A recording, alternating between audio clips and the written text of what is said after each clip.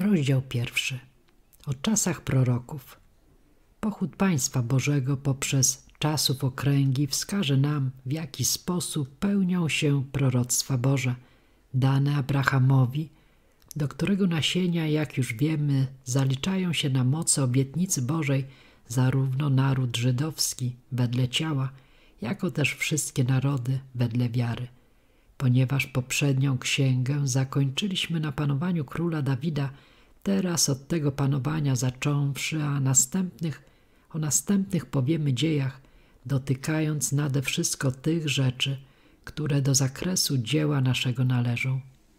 Od chwili, kiedy święty Samuel zaczął prorokować i poprzez następne czasy, gdy naród żydowski do niewoli babilońskiej uprowadzony został, aż do czasu, kiedy stosownie do przepowiedni świętego Jeremiasza Izraelici po latach siedemdziesięciu powrócili z niewoli i dom Boży odbudowany został, cały ten czas to czas proroków.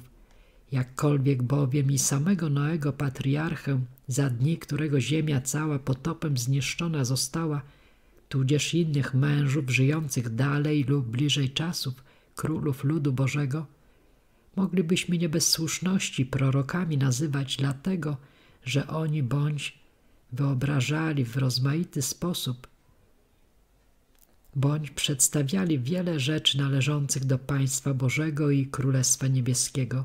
Nade wszystko, że niektórych z nich, jak Abrahama, jak Mojżesza, wyraźnie w piśmie prorokami nazywano, to jednakże dniami proroków szczególnie i przede wszystkim nazywamy te dni, odkąd Samuel prorokować zaczął. Ten sam Samuel, który też naprzód Saula, a po odrzuceniu tegoż i Dawida z rozkazania Bożego namaścił na królów. Dawida, aby z rodu jego inni następowali królowie aż do czasu, dopóki to potrzebne było. Gdybym chciało wszystkim nadmienić, co prorocy o Chrystusie przepowiedzieli podczas gdy Państwo Boże szło naprzód poprzez te czasy, zmieniając członków swoich przez śmierć odchodzących i przez narodziny następujących, zaszłoby się w bezmiar. Po pierwsze, dlatego, że samo Pismo Święte, które opowiadając po porządku o królach i o czynach i wypadkach, wydaje się, jakoby zajęte było tylko podsta podawaniem dziejów z historyczną dokładnością. Ale gdy przy pomocy Ducha Bożego zabierzemy się do niego z głębokim zastanowieniem, okaże się, że jeśli nie więcej jeszcze, to z pewnością nie mniej zmierza ono do przepowiadania przyszłości niż opowiadania przeszłości.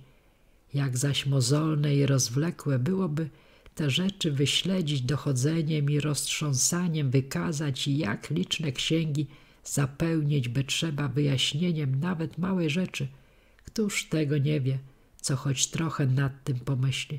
Powtórę, że same tylko te rzeczy, które już bez żadnej wątpliwości są proroctwem o Chrystusie i Królestwie Niebieskim, czyli Państwie Bożym, są tak liczne, że aby je wyjaśniać, potrzeba by koniecznie rozprawy dłuższej niż tego wymagają rozmiary niniejszego dzieła.